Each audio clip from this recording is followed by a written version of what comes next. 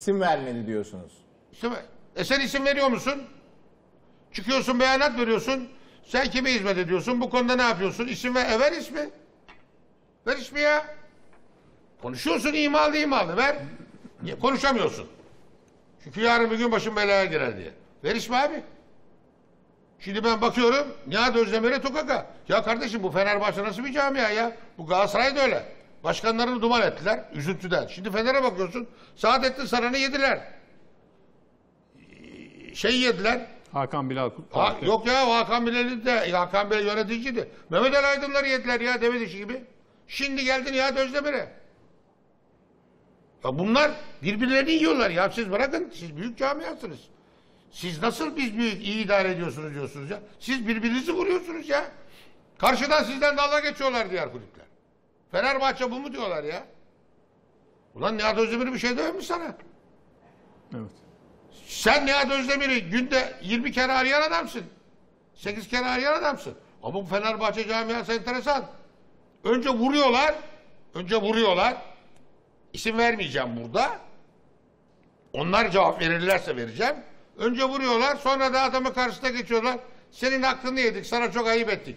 Abicim bana televizyonda çakıyorsan bana televizyonda buradan çakıyorsan bana buradan özür dileyeceksin. Diyeceksin ki arkadaş Ahmet Veli ben sana televizyondan çaktım sana haksızlık yaptım. Sen bana oradan çakacaksın sonra geleceksin ben sana haksızlık yaptım birebir yemezler. Sonra da diyeceksin ki Büyük Fenerbahçe'ye yardım edin. Maddi yardım. Yemezler. At terli. Konuşurlarsa isim de verir. Hocam orada Bak ne farklı kadar net anlatıyorum. farklı şeyler dönüyor hocam. Anlamam. Şu anda Nihat Hocam bana televizyonda sallıyorsan televizyonda özür dileyeceksin. Bu iki, herkes için iki, aynı. iki nedeni Bana televizyonda salla salla Fener seyircisine adamların üstüne yolla senin çok faydalı olabilecek adamların Fener camiasına ve hiç zarara olmayan adamların Fener'e bak. Hiç zarara olmayan adamların. Bir daha söyleyeyim mi? Fener'e hiç zararı olmayan adamların sonra git sana haksızlık yaptık ya ayıp ettik özür dileriz. Yemez öyle. Hocam bunun iki nedeni var. Birincisi başarısızlığını örtmek. Çünkü son derece başarısız Herkes oldu. suçlu. İkincisi de tabii herkesi suçlu ilan ediyor. En başta kendisinin suçlu olduğunu da mutlaka biliyordur. Aklı başında her insan bu kadar başarısız olduğunu göre göre her tarafa saldırıyorsa o e, başarısızlığını örtmek için savunma mekanizmasıdır bu. Psikolojide de vardır. İkincisi de e, şu sıralar çok dilleniyor. Hatta zaman zaman bunun haberleri de yapılıyor. Camianın kanaat önderleri Fenerbahçe'yi Ali Koç'tan kurtarın. Çok başarısız. Yerine yerine Aziz Önemli Yıldırım bir- gelsin. Hayır, diye çok adam hayır, var ya. hayır, Az- Siz neden Aziz- bahsediyorsunuz? Hayır, Aziz Yıldırım değil hocam, bir dakika. çok adam var. Hocam Aziz Çok Yıldırım önemli. artık ben beni, beni Aziz Yıldırım'a ben görüş Ben sana başka bir şey Aziz söyleyeyim. Yıldırım Bakın şunu söylüyor. Aziz Yıldırım benim dakika, için Fenerbahçe defteri burada dur, kapandı diyor. Burada dur. Aziz Yıldırım'a git. Benim tahmin ettiğim bak yıllarca. Karşıdan çok samimiyetim yoktu. Aziz Yıldırım'a git. Aziz Başkan ya. Döner misin? Hayır diyecektir. Diyor zaten hocam. Öyle diyormuş. Bırak da Öyle diyor. bitireyim. Hayır diyecektir de. Topluca bir git bakayım. Hayır evet olur mu olmaz mı? Olur. Unutmayın. Olur. Olur. İyi de hocam Bakın vaktiyle de söylüyor. Aziz Yıldırım çok eleştirilmedi mi bu şekilde?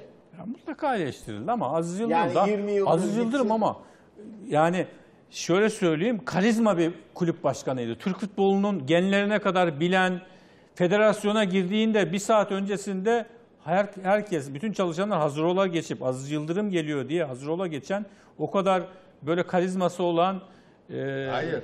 Yalnız bir karizma Türk değil. futbolunda. Yalnız karizma değil. Aziz Yıldırım da seversin sevmezsin. Ben söyleyeyim. Liderlik vasfı var. Tabii işte onu söylüyorum. Ali o Koç'ta- liderlik o, o, o Ali Koç'ta liderlik oluyor sonuçta. yok.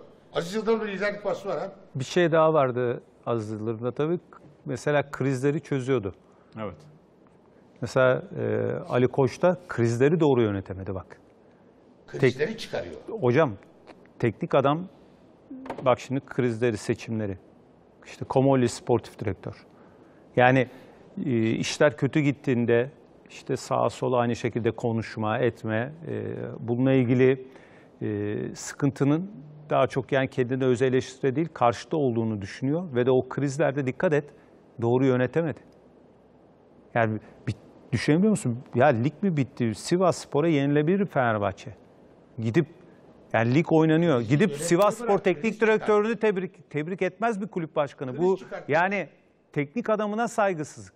Ya şu aşamada Nihat'ın, Nihat Özdemir'in o konuşmasından sonra yani yani olmayacak şekilde tartışıp Fenerbahçe'yi kötü pozisyona sokuyorlar. Hocam şurada şey. Nihat Özdemir'e Niye sorulan çıkarıyorsun? Nihat Özdemir sana Fenerbahçe'ye ters iş yapmıyor ki. Sen çok iyi Fenerlisin, Nihat Özdemir kötü Fenerli. Yok ya. Neye göre abi? Kaç kilo? Kaç gram? Nihat kötü. Sen kaç kilo iyisin? Herkesin bir Fenerbahçeliliği var. Hiçbirinizi tar- şey, şey yapamaz. Neymiş? Ko- Kovacaklarmış. İyilik olurmuş filan ya. Böyle saçma sapan şey olur mu? Ya Mehmet Araydınları yaptılar. Saadettin Saran'a yaptılar. Şey yaptılar. Söylediğin. Hakan Bilal. Hakan Bilal'e yaptılar. Roberto Carlos'u getiren adam. Şimdi Yani burada Hepsi de iyi, Hocam. hepsi de iyi Fenerbahçeli saydıklarınız ha. hocam burada evet Nihat Özdemir denen adam o malum sezonda as başkanlık yapıp camiayı Aykut Kocaman'la birlikte ya. toparlayan çok önemli bir karakter ki kader birliği yapmış Ali Koç da o dönemde çalışmış. Çok başarılı olmuş bir insana böyle bir şekilde saldırılması çok büyük hata ki bunu Semih Özsoy daha Fenerbahçeliliği ne kadar yöneticiliği yani şeyle Nihat Özdemir'in Fenerbahçeli ile Semih Özsoy'un Fenerbahçeliler arasında güneş ışığıyla mum aydınlığı kadar fark varken şike lafı duyunca e, dinlenince hemen Semih Özsoy şunu söylüyor. FETÖ'cü müsün kardeşim sen? Ya ne alakası var Nihat Özdemir'in FETÖ'cülükle ya? Bir de böyle ya? suçluyorlar Semih ya. Özsoy'a şike desem nasıl anlatacağım? Nasıl anlatacağım Ya şike Türkiye'de bana? şike Semih üzerine kitap yazılmış hocam. Şike nasıl? Nasıl yapılır? Sen de biliyorsun şike hocam. Nedir, kimdir? Sabaha karşı mı yaparsın? Akşam mı yaparsın? Federasyon başkanı Anlatsın, hocam. Anlatamaz ya. Üç cümle yaparsa Hocam fe- Toroğlu değil. Federasyon Başkanı Kemal Ulusoy bir dönemde şikeler, teşvikler serbestken aynen söylüyor. Şike gırla gidiyor ligde, teşvik gırla gidiyor ama serbest diyor. Bunun kitabı var Sayın Lale Orta biliyorsun. Şike üzerine kitap yazdı. Orada belgesel gibi her şey var. İnşallah tembellik yapmasam yazacağım. Ama 2010-2010 Hocamda sezonunda da, hocamda da çok bilgi çok var yani. diyorum ben zaten. Ben talibim. Senin kitabını yazayım diye. Ben de 40 tane kitap yazdım Hocam- ama eğitim çok kitapları bilgi var. yazdım ben. Erman Toroğlu'nun kitabını yazarsam bestseller olurum herhalde. Şimdi Komoli konusu enteresan. Komoli Toulouse'a e, CEO oluyormuş.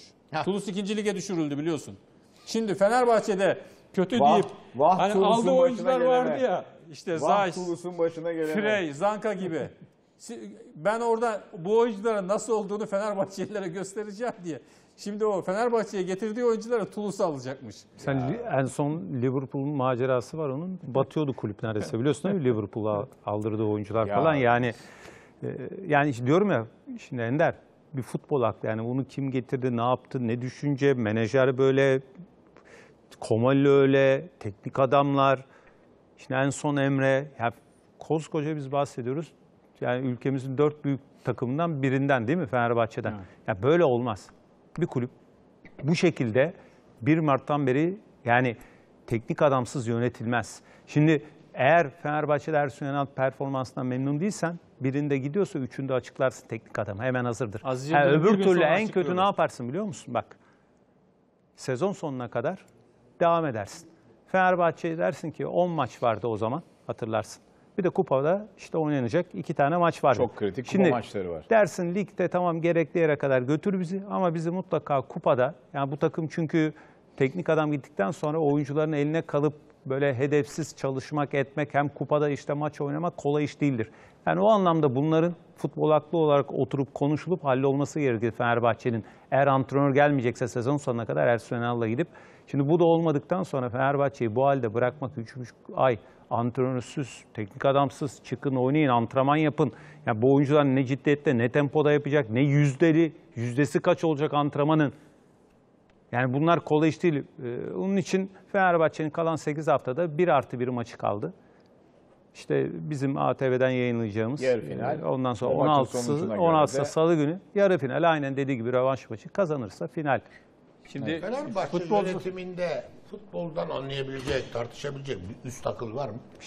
Hocam diyorum ya. Hocam futbol var aklı. Yok hocam yok diyorum ya futbol aklı 2 var. senedir yok hocam. Ya efsane var.